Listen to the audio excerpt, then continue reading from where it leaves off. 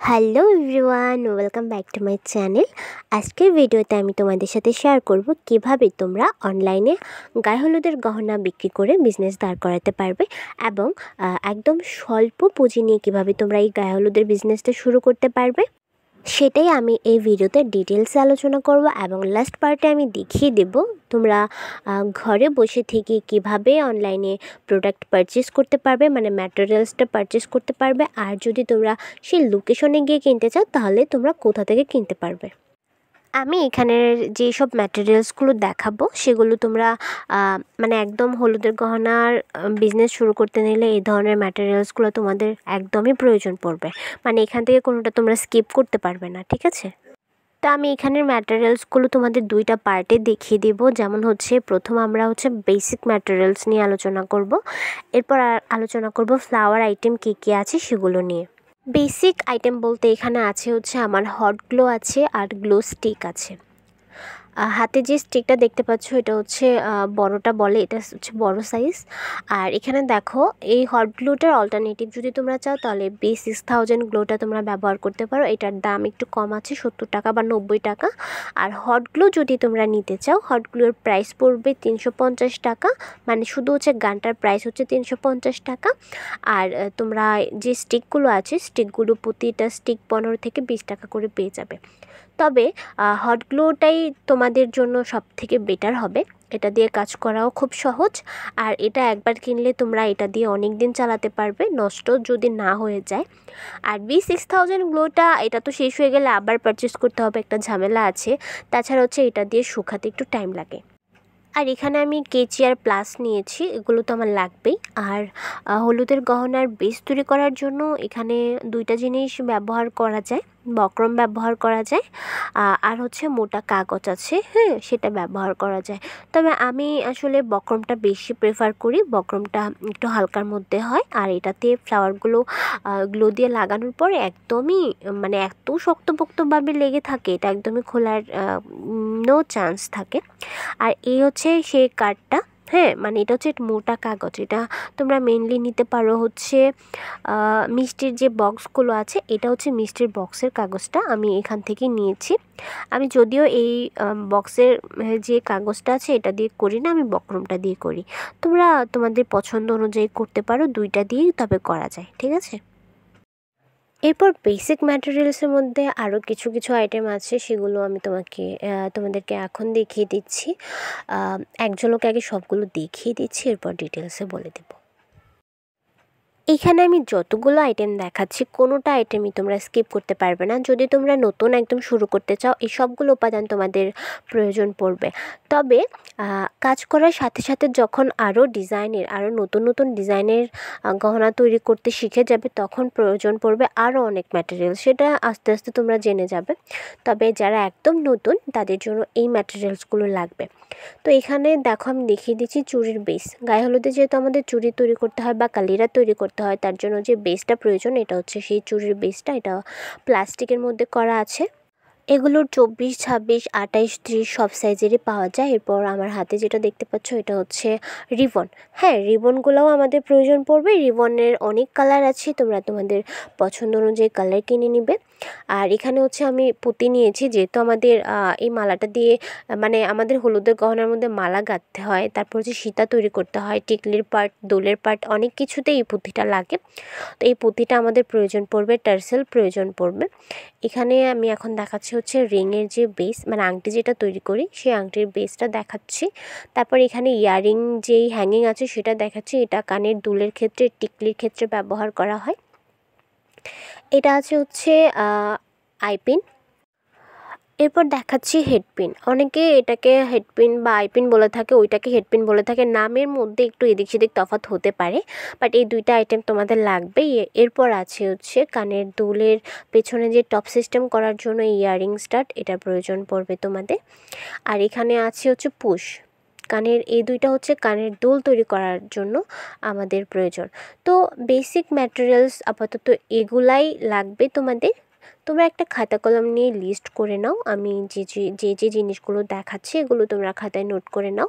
হ্যাঁ আরেকটা জিনিস যেটা রয়ে গিয়েছে সেটা হচ্ছে নথ আমরা যখন ব্রাইডালের ব্রাইডাল গহনা তৈরি করি, তখন তো নথের প্রয়োজন হয়। তখন এই বেসটা দিয়ে আমরা নথ তৈরি করি।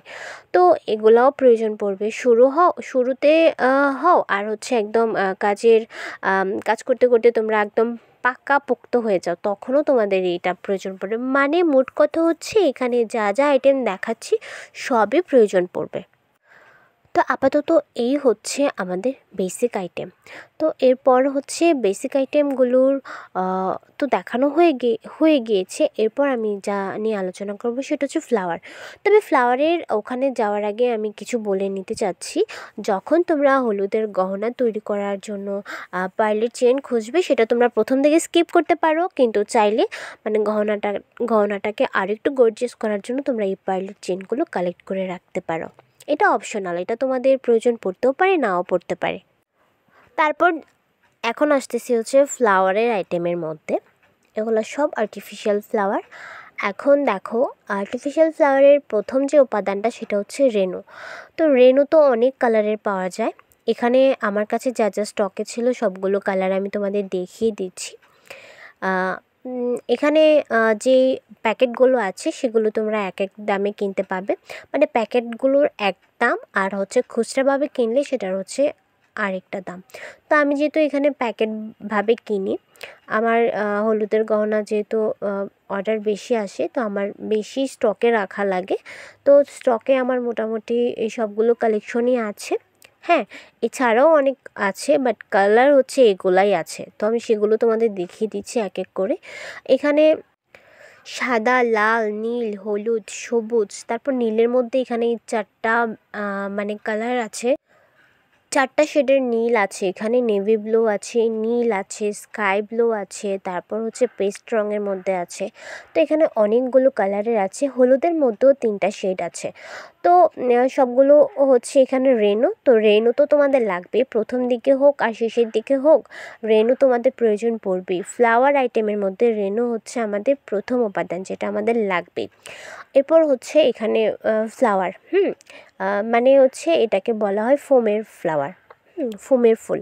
তো আমরা গহনা তৈরি করার জন্য দুই ধরনের ফুল ব্যবহার করি। একটা হচ্ছে ফোমের ফুল, একটা হচ্ছে পেপার ফ্লাওয়ার হ্যাঁ? কাগজের ফুল। Foam flower and paper flower এখন কালার আর দাম নিয়ে যদি বলতে চাই ফোমের যে ফ্লাওয়ারগুলো আছে, সেগুলোর কালার একটু হালকা হয় আর পেপার ফ্লাওয়ারের কালারগুলো কালারগুলো একটু গাঢ় হয়। তো কিছু কিছু কাস্টমার আছে, দেখা যায় যে ফোমের ফ্লাওয়ারটা খুঁজে, কিছু কিছু কাস্টমার আছে যে পেপার ফ্লাওয়ারটা খুঁজে, তো কাস্টমারের চাহিদা অনুযায়ী তোমাদেরকে দিতে হবে। সেজন্য সবগুলাই স্টকে রাখা আসলে প্রয়োজন। তো এখানে ফোমের ফ্লাওয়ার আমার কাছে যা যা ছিল তাই আমি স্টকে মানে স্টকে যা যা ছিল আমি তোমাদেরকে তাই তাই দেখিয়ে দিচ্ছি। রেনুর পর হচ্ছে তোমরা ফোম ফ্লাওয়ারগুলো কালেক্ট করে রাখবে। তোমাদের বাজেট অনুযায়ী তোমরা পারচেস করে নেবে যে যে কালার তোমরা কিনতে চাও।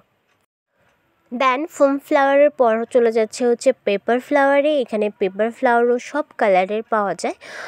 তবে আমি এখানে কিছু কালার আমার স্টকে রেখেছি।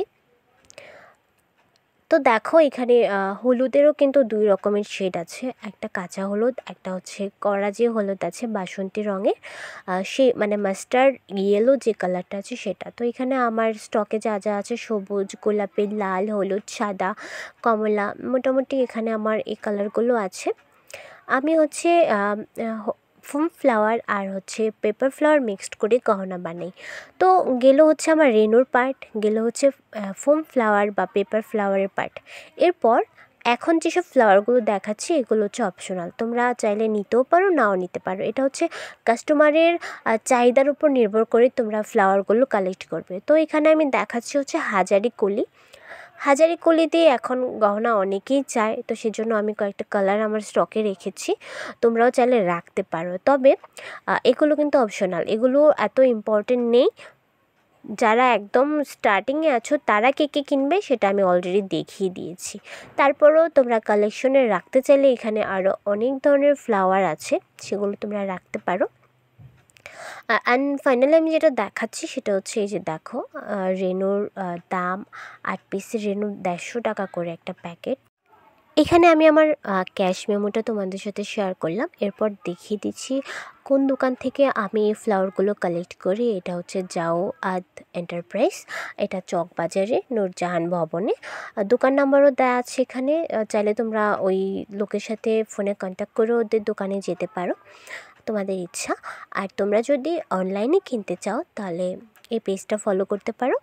ওনার সাথে আমার পার্সোনালি কোনো কিছু নেই।